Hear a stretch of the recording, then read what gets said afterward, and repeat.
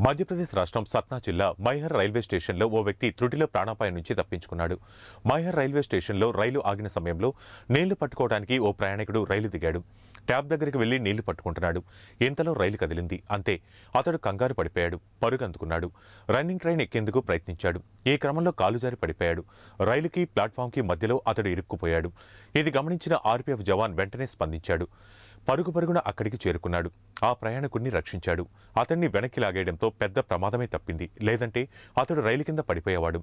ఇదంతా అక్కడే ఉన్న సీసీటీవీ కెమెరాలో రికార్డ్ అయింది ఇప్పుడు వీడియో సోషల్ మీడియాలో వైరల్గా మారింది. రన్నింగ్ ట్రైన్ ఎక్కే ప్రయత్నం ఎంత ప్రమాదమో చెప్పేందుకు ఈ ఘటన నిదర్శనమన్నారు.